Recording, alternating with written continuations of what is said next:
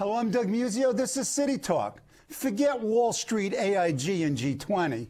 Of these, we've heard plenty. Don't think about David, Shelley, Malcolm, and Mike. Rather, A-Rod, Derek, CC, Joba, and the like. Santana, Reyes, Wright, and Sheffield, too. Citi Field and Yankee Stadium. Again this year, the other Bronx Zoo.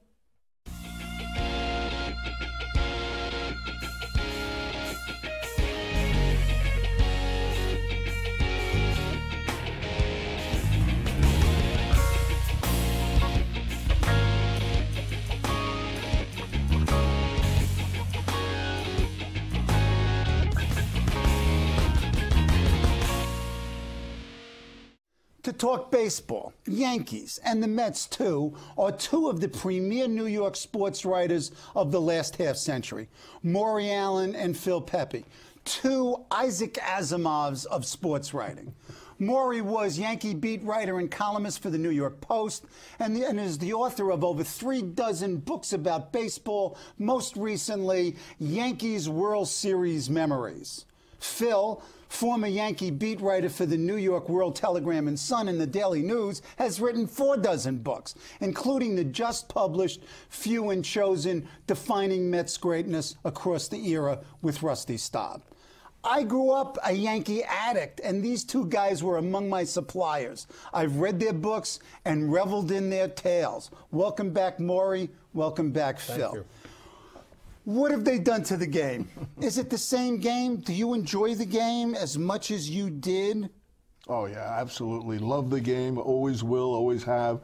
Uh, the game hasn't changed. Still, still nine innings. It's still 60 feet, six inches. It's still 90 feet between the bases. That part of it hasn't changed. It's all the entrapments surrounding it that's changed. Talk about the entrapments and what what what annoys you about noise, modern noise. baseball? Noise. you said it. Noise. Right, noise.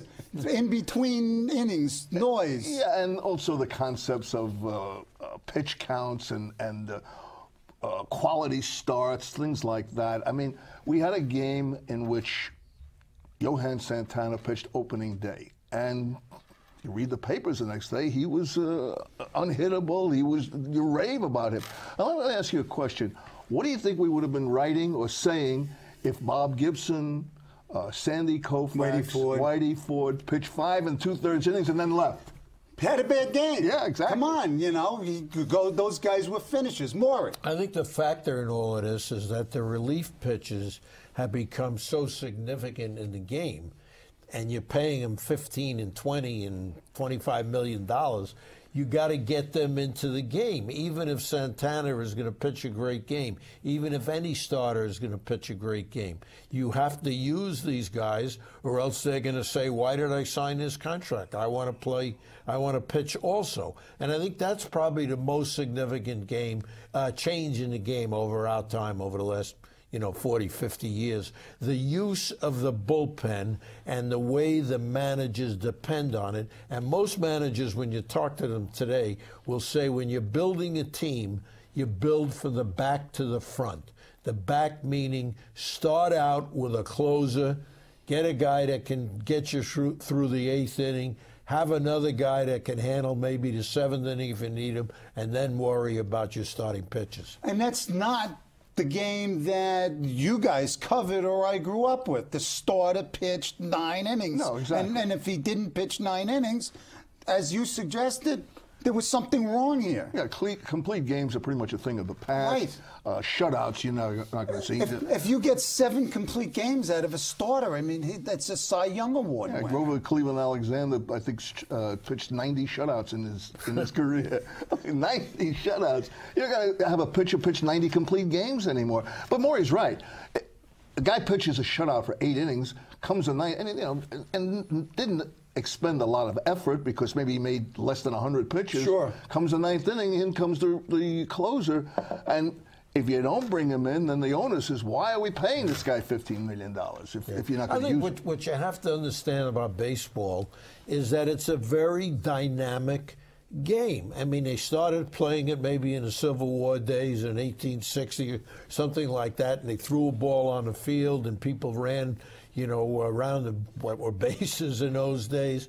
and they the game itself. I mean, as Phil said, the game itself, the playing of the game on the field really hasn't changed very much. It's the accoutrements that have changed. It's the stadiums. It's the prices you pay the players. It's the prices you pay level. for beer. What, what is it? Nine fan. bucks a beer yeah. in Yankee? I was at uh? Citi Field. Right. I haven't time. been. Have Take- you been to either of the two? Taking a look at Citi Field. What Citi Field is, in my opinion, is a huge picnic area. I don't think anybody's coming to watch the game. I think they're coming to sit in these gigantic lounges on huge couches, on huge reclining chairs, eating a you know a twelve dollar hot dog and a nine drinking a nine dollar beer and watching a game on TV. It's a social event. It's a connection. Maybe they'll sit in the seats, you know, when the weather's wonderful. They'll sit out there for three or four innings. But every fan who goes to the ballpark now, Yankee Stadium and Citi Field, will use these lounge restaurant eating areas, and that's really what baseball has become. It's like they're, they're entertainment centers. They're not ballparks. No, true. There, it's, there are exceptions, but most people who go to the game, I mean, the, the average fan can't afford to go to, to a game. Please, The guy tell who's me. going because he wants to watch the game, Right. he's, he's being phased out. So corporations, and uh, it's a place to be, it's a thing to do, and you'll see celebrities, and you'll see uh, Wall Street executives there, and they'll have Well, fewer of them than not- not anymore, I guess. And they'll have parties, and it'll be enter- entertainment for uh, clients and that sort of thing. Not like the old days when you decide, I want to go to a game, you walk up to the booth, you buy yourself a ticket, maybe the best seat in the house, Right. and you watch a baseball game. Right. Can't do that anymore. Well, I remember as a kid, we, we'd spend the weekend at Yankee mm-hmm. Stadium a buck and a half in the upper right field seats, nosebleeds. You know, when when people talk about the prices of the old days when we were growing up in, in Brooklyn, you also have to recognize the way the salary structures of today are. I mean, my father never made $100 a week as a salesman. And we still could go to Ebbets Field for 50 cents Right. or a dollar and a quarter if we got a big seat. Now everybody average salary is 40, 50, 60,000 dollars whatever it is. And so the price you're paying for everything is much more, but when you get into this season and certainly when you get to the playoffs in the World Series, you really care about who's going to win the game. And especially as a stay at home fan watching it on television, you can be a lot more emotional in your living room, you know, with your pals than you might be sitting in a ballpark. So the prices to me, I mean, people say, how can they pay ball players 20, 25 million dollars? How can they pay actors $25 million? How can these uh, corporate giants, you know, with the bailouts, make 25 and 50 and 100 million dollars? So that's not a register of what the game is. I, I think the most significant thing about baseball on the field, the playing of the game, is pretty much the same as it's ever been. And there are two measures of that that I think prove the point it's always been a standard that if a guy hit 300, he was a great hitter.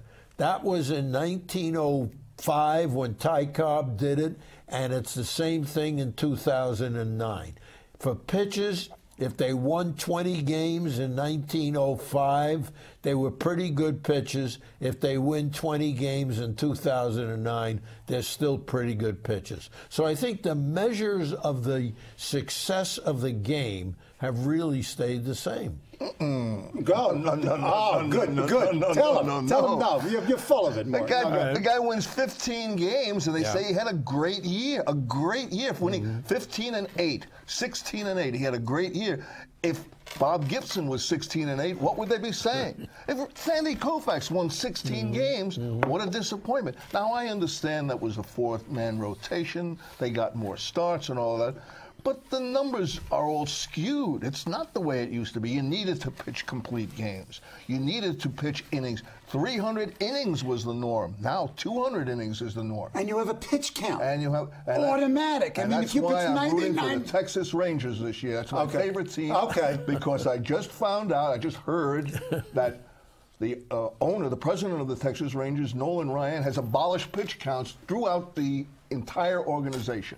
Why? What is the pitch count? I mean, is that to get to the relief pitches, or is it, or are they so fragile I, I that? think, I think the idea was to save pitchers' arms, and theoretically, they would do that with a pitch count. But I, I recall a story that Warren Spahn, you know, one of the greatest pitchers of all time, said he never went one day in his entire professional life without throwing a baseball. Jim Kaat says the same thing. Right. He throws they pitched day. in the wintertime, whatever it was. They went in some gym. It was 30 degrees below zero.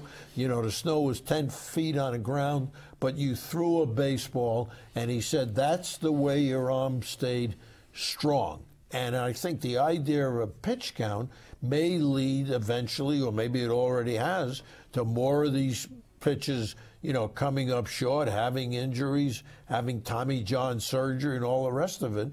But I think it's an unnatural act. Whitey Ford once said, if God wanted to create pitches, your arm would be hanging high in the air instead of down like this. But the game has changed significantly in that regard. That you've got pitch counts, and Yeah, that aspect of the game. what has about what about the designated hitter? Well, it hasn't really changed the game. It's just changed the the strategy lineups and a little bit of know, the strategy, strategy. surrounding the game. But the game, the way it's played, the, the skills that are required, the plays that have to be made, all of that, none of that has changed. You know, speed is still important. Uh, like I said, still nine innings, still three outs, still four balls and th- three strikes. All of that is the same. Uh, it's it's just all the other things that go along with it. I know. We, we, we were talking off camera about the the noise, you know, the mm. train races and the music. that you know, if there's you know, if a bat is up and there's one out and there's a guy on second base, those silences are really important because there's all this stuff going on. And Maury, you said you could talk to the guy next to you. You yeah, I can't think do that part anymore. of part of baseball as a kid. I grew up in Brooklyn, went to Ebbets Field ten times a year, sat in the bleachers, fifty-five cents. The idea was you went with your brother, you went with one of your classmates, one of your friends. When I was 12, 13 years old, in those days you could ride the subway. Nobody, your mother didn't worry that you'd be murdered if you rode the subway. So you rode the subway to Ebbets Field. You went to the game. And the idea was to talk about the play Right. after it was over. If Duke Snider ran to the wall, climbed the wall, made a great catch, for the next 15 minutes, you did two things. You talked about the play, and you also said, when we play tomorrow, I'll make the same catch. You don't have that now. You've got all of this It's all distraction. entertainment. It's entertainment now. It's uh, people feel that they, there's a need to entertain you while you're being entertained. Right, and constantly. Isn't the game enough entertainment? No, I guess not. I, I think it's all part of, of the change in American um, uh, lifestyle. I mean, the music, beginning in the uh, 60s, you know, rock and roll takes over, the Beatles take over. I wouldn't go in 1964 to watch this group of uh, guys play music at uh, Shea Stadium, known as the Beatles, because I said, "Oh, that's a bunch of noise. Who's going to listen to that? Who's going to care about that? You know, next year?" Well, I was wrong.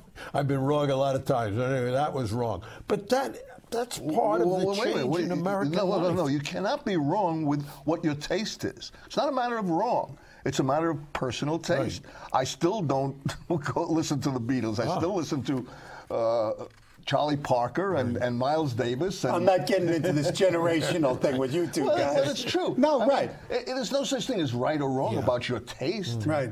This is what I enjoy. I'm entitled to enjoy And I, I what think the kids today that, that go to a ballpark, I mean, the evidence is the attendance is growing, the uh, ratings are, uh, you know, growing. That means that people enjoy the ambience The of difference the difference is we can get it on television free. So to get people to go to the ballpark, they have to offer more than what we're Right. seeing Okay. on television.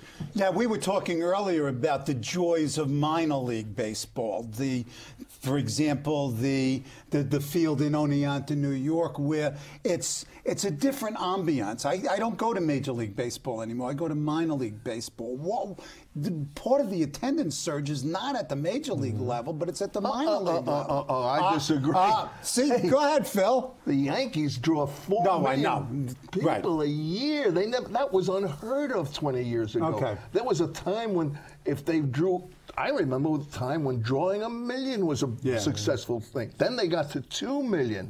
That one you, you figure that had that was the ultimate.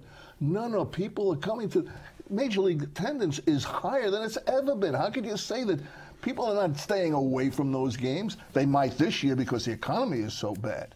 And the whole thing, it's all money driven too, and pitch counts are all money driven.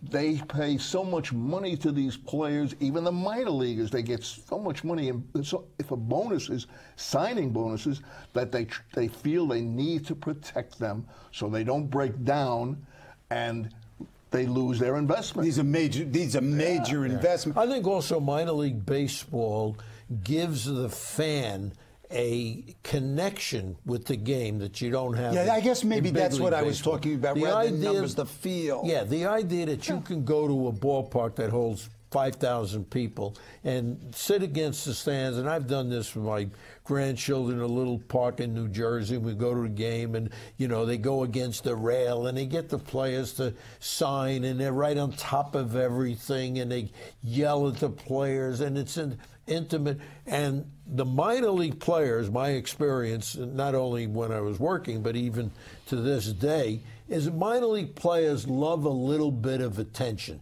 So when they get that attention, they're pretty joyous about it and they're pretty cooperative about it until they get to the big leagues and they're making 20 million and they tell you to take off when you want to talk to them. But, you know, some of them do, some of them don't. But in the minor leagues, every player is, is pretty cooperative. The game is fun. The intimacy of the park is fun. And the idea that you can spend a day with your family at a minor league ballpark for 30, 40, 50 bucks as compared to three, four, five hundred Right. at a major league park is a big difference. Do you root? Do you root for a team now?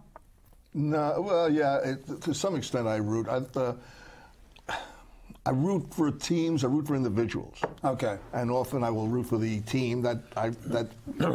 well, I have a son who's an agent. Okay. And so I root for his clients. Oh, come on. I mean, Good dad. yeah, right. Come on. Why not? And so if he has a client on a particular team, I want to see the team do well.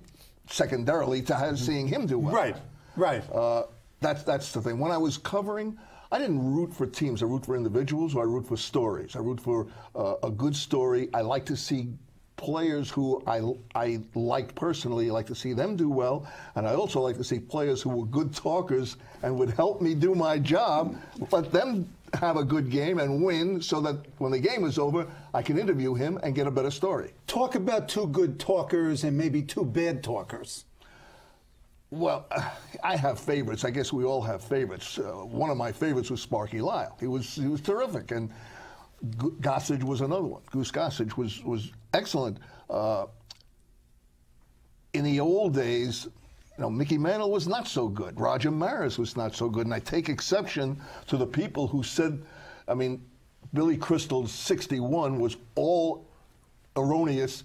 We didn't root against Roger Maris. Why would I root against Roger Maris? Right. Why would I not want to cover a man who's going to break a record, and I would be a witness to that? Right. Wouldn't I want? That's a great story. It's great to be to be part of that.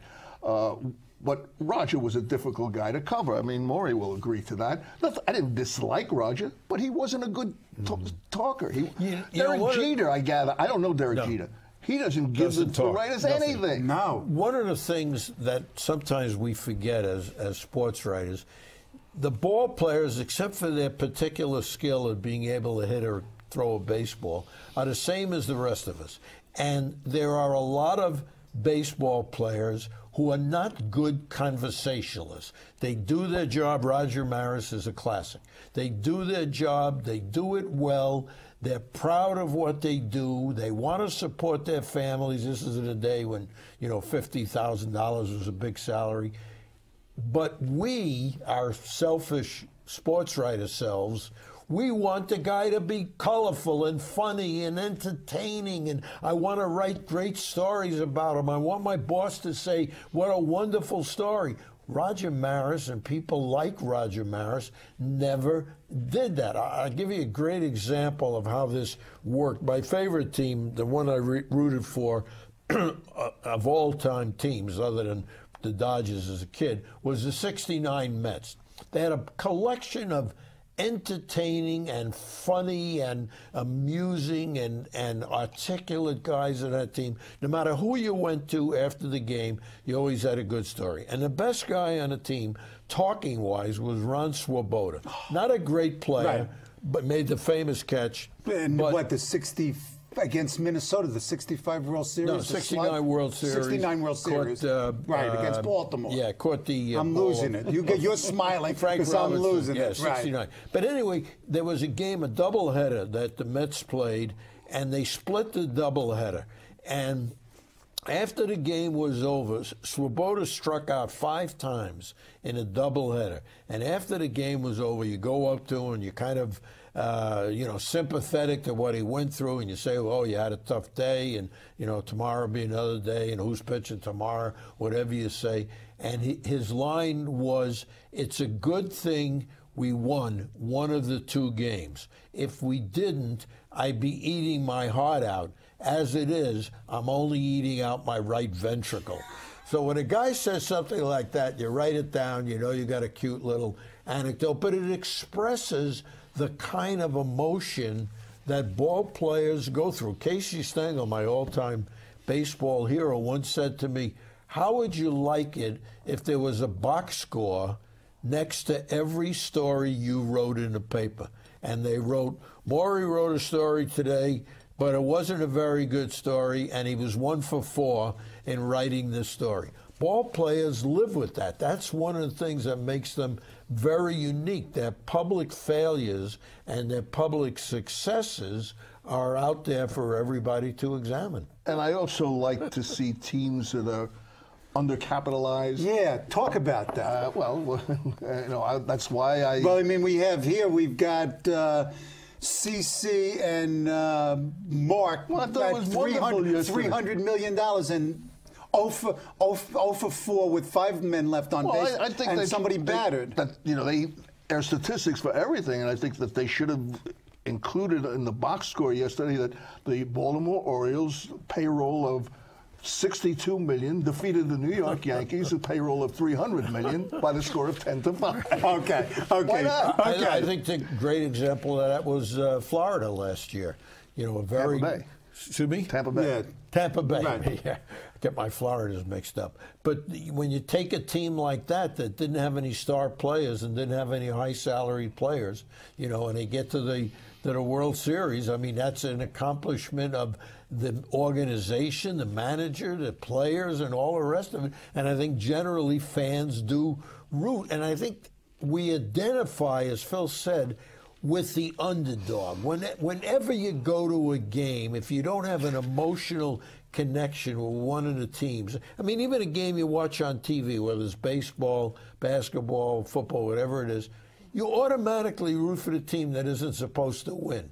And when that team surprises and wins, it's a kick because that's what life is really all about. We're living in an environment where, you know, the pressures of everyday life are very difficult. And when you succeed as an underdog, it's, it's quite an accomplishment. fans don't think that way. Go ahead. I mean, listening to talk radio, they don't think that way. The Yankee fans want excess. They want all the stars. They want to sign every major, every great player. They want the all-star Of course they do. And I'm not criticizing the Yankees for doing it. They're playing within the rules. It's the rules that need to be changed. They, there probably has to be a. Uh, I shouldn't be saying this. You know, I get- Don't- say it. That's my why son is an Listen, agent. I'm, gonna, the- I'm costing him money. Say it right now. Say it right there now. should there should be a salary cap. Right. Uh, it, it, it's it's just not fair. Why should one team be allowed to to spend almost three hundred million dollars on its roster, and another team is lucky to be able to spend 50 million. But then, don't you get the psychic satisfaction like you you, you did when Baltimore beats them Sure, 10 but it's not going to happen often enough. Okay. When is Baltimore ever going to win again? When is Cincinnati going to win again? Win a World Series? Pittsburgh. You know, Pittsburgh. uh, Phil, it's, it's interesting, and if you think back to our days as a kid growing up in Brooklyn, there were only three or four teams that won every year in those days.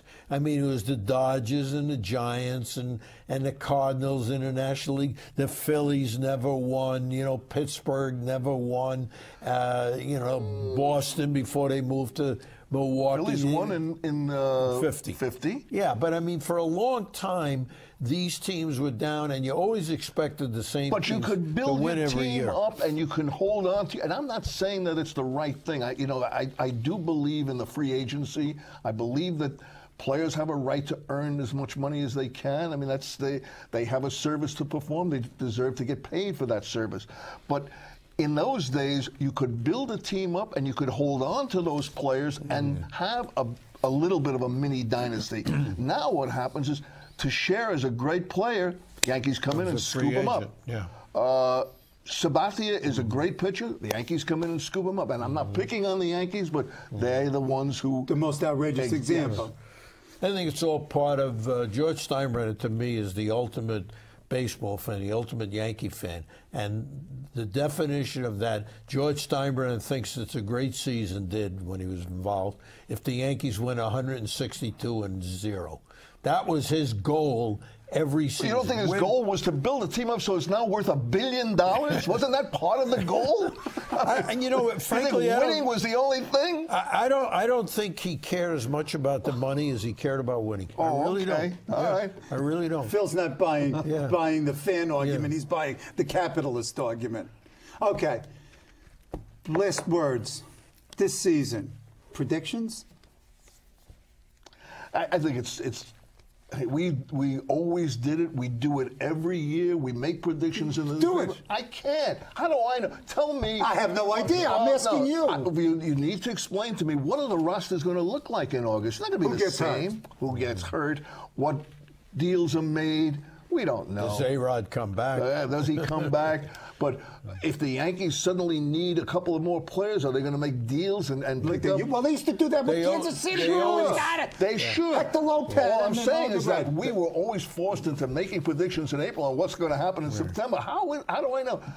If I had a crystal ball who would only tell me what the rosters consisted of, I'd have an opportunity to. t- to You want to They take a shot at yeah, this? they always say you don't judge a team on paper, but when you look at the paper of the Yankees and the Mets, you see two teams that have a pretty good chance to win it. And my feeling is they're both going to win it in the new stadiums. That's going to be part of the environment, part of the excitement. And I see a seven-game World Series with the Mets finally beating the Yankees. Oh, you guys coming back, right? Together. yes? No? You're coming back. Yeah, well, Only Okay. if there's a seven-game World Series. Oh, no, you Mets got to and the come back before that. Thank you.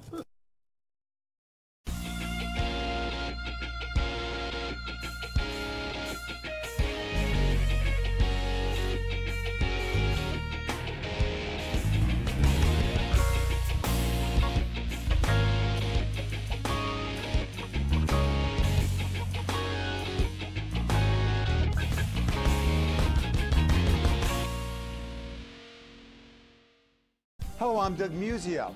Let us know what you think about this show. You can reach us at cuny.tv. When you get there, click on the bar that says Contact Us and send your email. Whatever it is. Thanks, no thanks, obnoxious, do it. Send it.